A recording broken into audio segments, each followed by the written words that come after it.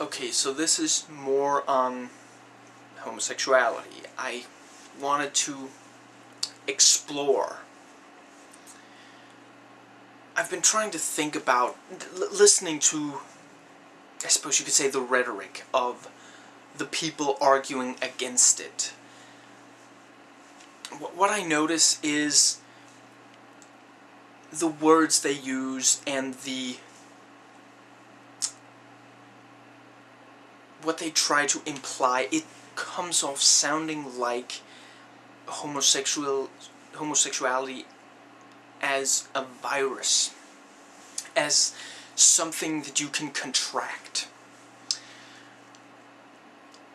S something that, if going unchecked, could maybe not destroy, but greatly harm the whole of society, of civilization.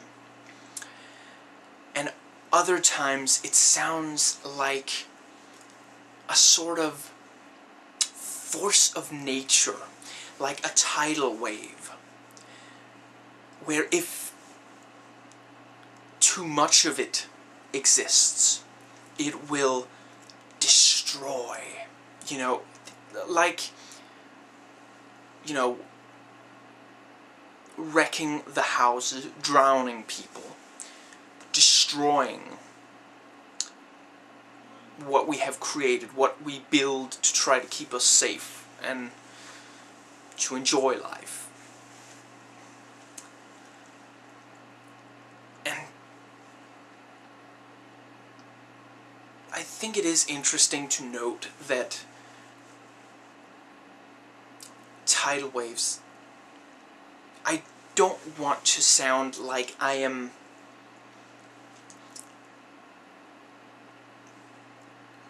downplaying the damage that natural disasters cause. Of course not. But we do try to rebuild afterwards. Unless you believe in the global flood, Noah's Ark, we can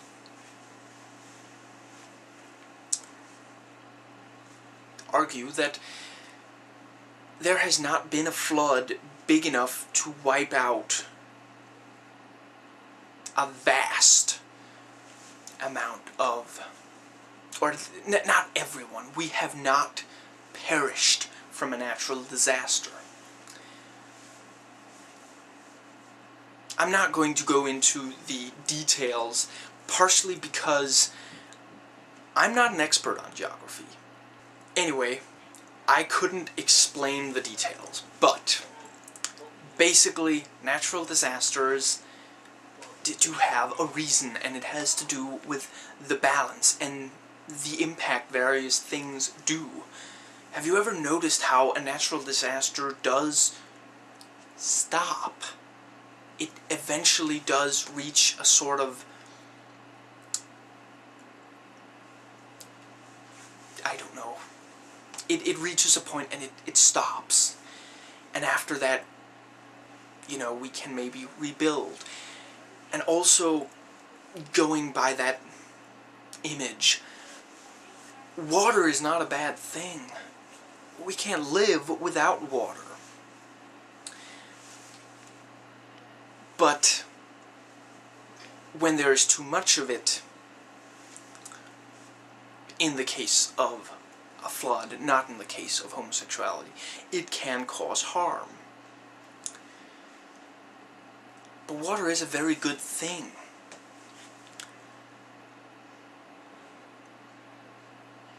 In other words, too much of a good thing can hurt you. If you get too much water, in your body, you may drown, you will die from it.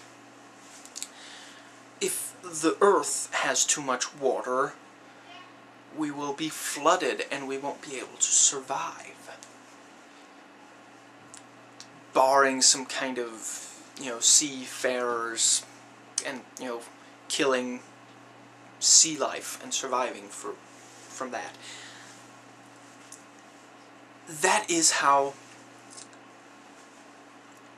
a lot of people seem to look at homosexuality. It will just spread and harm. Now, part of my flood analogy here is even if it did spread,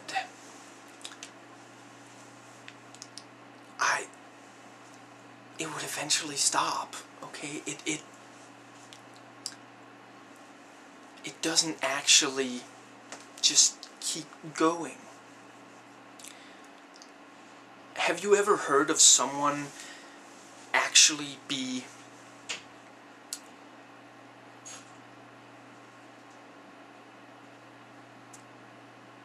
infected with homosexuality? Have you ever heard of anyone actually, not just a rumor, not someone who heard it from someone else, an actual case of someone suddenly becoming homosexual and where it wasn't like they had deep down always been and they just tried being straight for a while. I have never heard of anyone becoming, changing their sexuality to one thing or another. A lot of homosexuals, because it isn't accepted, try to pretend to be straight because that's the only way they can be accepted. But I myself am straight. I have never had any kind of homosexual tendency.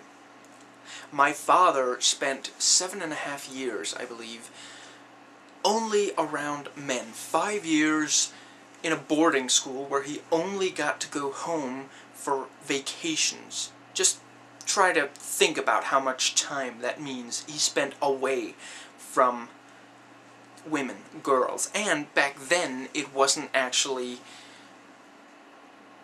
very appropriate for a man to want a woman. It was okay if they got married and they didn't do anything sexually before they got married, but otherwise, not at all. And he was physically, just objectively speaking, he was in close proximity to a lot of these men and boys. He shared a room with a boy who later turned out to be bisexual. They are now great friends, and this other man who is bisexual has never tried to force his sexual preference upon anyone. He has never tried to do something to someone who didn't want it. And my father has never had a homosexual experience. It it isn't contagious. If you fully believe that it is contagious, please offer up some proof. Please offer up some proof that it is somehow harmful, that homosexuals rape more, as is a common allegation.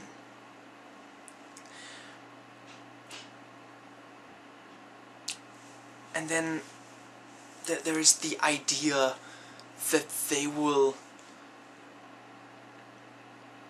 somehow destroy marriage. How? Marriage is an idea. It, it means that two people are together legally. That's it. Does it imply something else? Does marriage trick God? Does it mean that homosexuals would go to heaven suddenly if the homosexuals were married? Is that what you're afraid of? It would just change the meaning of the word to include that it could be same-sex couples also. That's it. Words have been changing meaning since we invented language. If you try to translate into other languages, you will find that words imply and mean different things in different languages. A language is a philo philosophy. And it doesn't hurt a word to change its meaning slightly. If marriage suddenly meant gangbanging, okay, that would kind of be messing up the word, but it's not. Homosexuality doesn't mean that they have more sex or worse sex. It doesn't mean that they are hurting anyone. It just means that they're having sex with the same gender.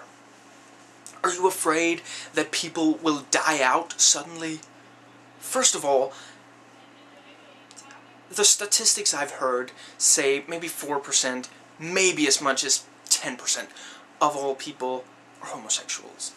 That leaves 90% at least to procreate. Do you realize that in, I think maybe the last 50 years or so, the amount of people on this planet has doubled. It went from 3 billion to 6.7. Maybe I don't have those numbers 100% exact, but does that not make you think that maybe we're doing okay on the whole procreation thing? We don't need more people. We're overpopulated as it is. We're running out of natural resources. We don't need everyone to procreate, and it isn't somehow inherently negative to not procreate. Do you really want people who don't want to be with the opposite gender, who don't want I, maybe I shouldn't say children, because plenty of homosexuals want children, and I see absolutely no reason to deny them that. Uh, what, is it because there isn't one member of each gender in the relationship? Does that somehow invalidate their parenting skills? Just because they need you know, a petri dish to be a meaty, you know, to help out with process. Is that it? Anyway, just because they don't... Do you really want people who don't want to be with the opposite gender to be forced to is that really what you feel will most benefit us? For people to live in misery? Is it good for the other partner? Maybe they don't know. Maybe they spend 20, 30 years with a man that they are convinced loves them and enjoys being with them sexually. I mean, they could be close friends, sure. But it just isn't quite the same. And after 20, 30 years of marriage, maybe the woman can't get very many straight men after all that time when she finds out. What about the women who actually agree to it? You know, to be the decoy, let's just go with that word. Beard. Is that? Anyway, is it really a good thing for these women to... I mean, it's their choice, of course, but how must they feel about sexuality to want to be in that kind of relationship with a man who probably isn't going to have that much of sexual relationship with them. I mean, what does that say about that woman's sexual drive, that woman's relationship with the idea of a healthy sexual relationship? That's it for this one.